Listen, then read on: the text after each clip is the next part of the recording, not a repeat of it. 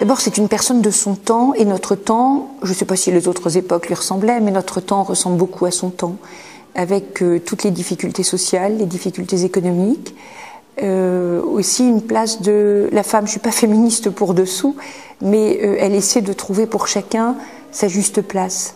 Et puis l'éducation des jeunes. Et puis, euh, je sais pas, son pèlerinage complètement fou à Jérusalem, c'est un personnage extraordinaire.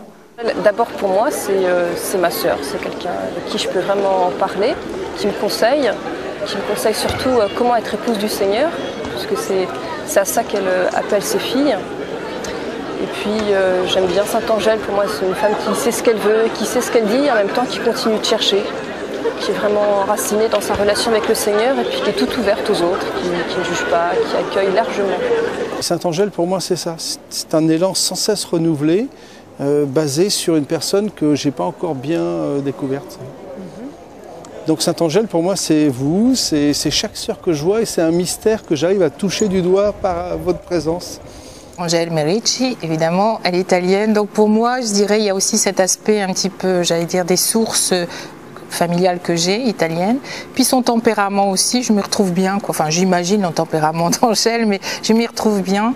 Sa spontanéité, son, son, discernement, de voir, bon, voilà, essayer de réconcilier les gens, essayer de, de vivre les choses euh, tout, tout simplement, naturellement et puis voilà, être dans la mouvance de, bah, de l'esprit qui, qui, voilà, qui travaille dans chaque personne. Pour Sainte-Angèle, cette vie fraternelle, c'est vraiment euh, une priorité. Elle nous le dit bien, euh, accueillez-vous, euh, estimez-vous, supportez-vous les unes les autres. Et si elle nous le répète, c'est qu'elle pense que c'est important et que nous aussi on voit que c'est une, dynamique euh, importante. On venait la trouver souvent pour quand il y avait un conflit, quand il y avait des difficultés. Elle savait conseiller, elle savait écouter, elle savait interroger, interpeller les personnes, elle savait les remettre euh, sur le chemin d'une relation qui soit juste, vraie et, qui soit belle. Donc les Ursulines, elles ont toujours eu à cœur de, d'essayer de faire réussir les relations là où elles sont, même si ce n'est pas toujours facile. Ce que j'aime chez Sainte-Angèle, c'est qu'elle est, elle est profondément humaine et donc profondément... Euh, bah, c'est l'évangile qu'on respire. Quoi.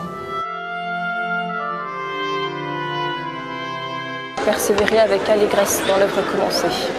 Sainte-Angèle, pour moi, c'est... Euh, sont des phrases. Jésus-Christ, unique trésor. L'idée qu'il faut se remuer je trouve ça incroyable qu'un saint euh, puisse dire euh, à, ses, amis remuez-vous.